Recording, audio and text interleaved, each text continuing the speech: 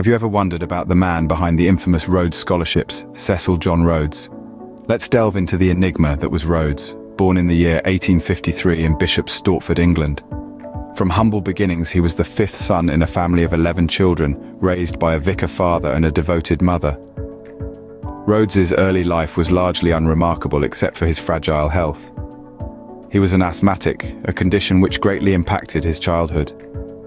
This would later prove to be a turning point in his life, as at the tender age of 17, he was sent to South Africa, his brother's cotton farm to be precise, in hopes that the warmer climate would improve his health. Little did anyone know then, this move would set the stage for a tale of ambition, power and influence that would forever shape a continent. So, who was this man who left England as a teenager and went on to shape the future of South Africa? From a cotton farm to a diamond mine, Rhodes's journey was nothing short of extraordinary. In the mid-19th century, a young Cecil Rhodes found himself in the heart of South Africa. With an astute eye for opportunity, he ventured into the diamond mining business, a decision that would forever alter the course of his life and the diamond industry. In the late 1870s, he co-founded the De Beers Mining Company, named after the De Beers brothers from whom he had bought a large land claim. Rhodes and De Beers embarked on an audacious business plan to control the world's diamond supply. Through strategic acquisitions and mergers, Rhodes managed to absorb many smaller mining operations in the region into the De Beers empire. This consolidation led to a near monopoly over the world's diamond supply, a grip so tight that it allowed De Beers to control prices and supply, effectively dictating the terms of the global diamond trade. Rhodes's venture into diamond mining was not without its challenges. The volatile nature of diamond mining, coupled with the political instability of the time, presented significant obstacles. However, Rhodes's unyielding determination and keen business acumen saw him through these trials. His unorthodox methods and ruthless business tactics were often criticized, but they proved instrumental in cementing his dominance over the diamond industry.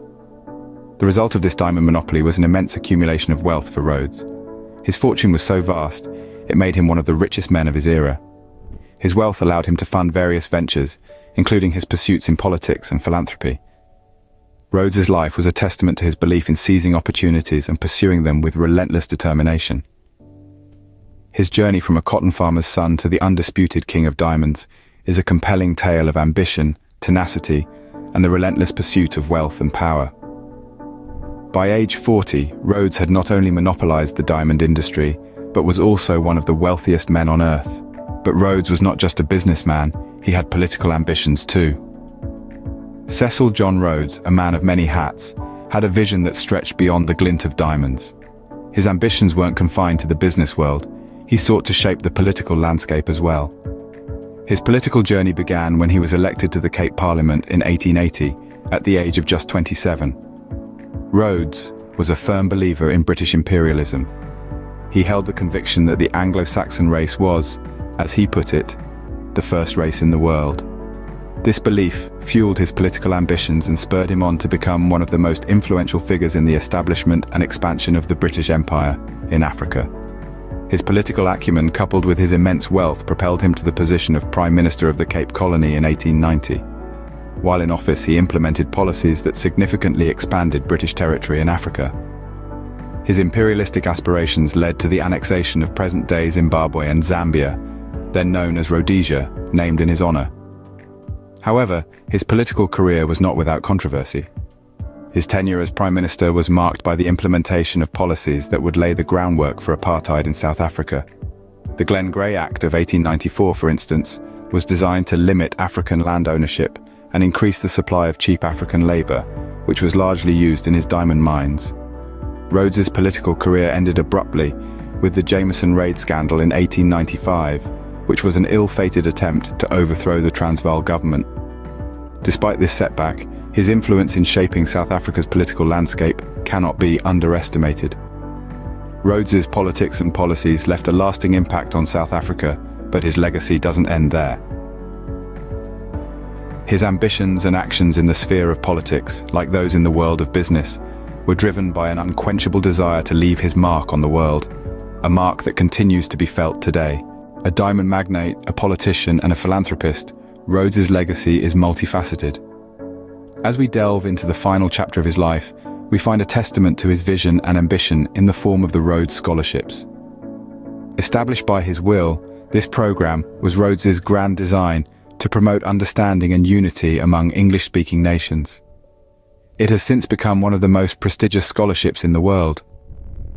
Every year, it offers a ticket to Oxford University for a select group of students from across the globe, providing them the opportunity to push their intellectual boundaries and develop leadership skills.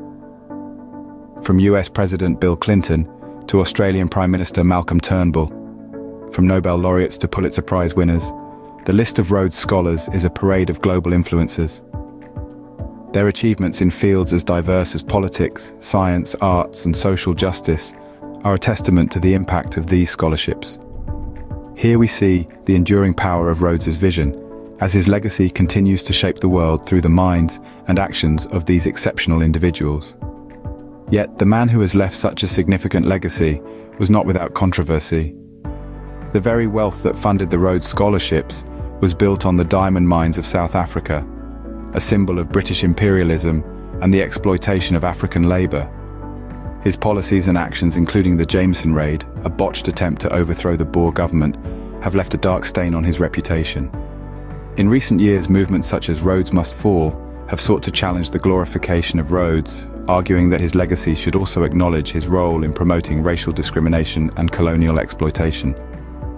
This dichotomy, the philanthropist and the imperialist, leaves us with a complex portrait of Cecil John Rhodes. His story prompts us to question the price of ambition, the consequences of unchecked power, and the true meaning of legacy. So there you have it, the man, the myth, the enigma that was Cecil John Rhodes.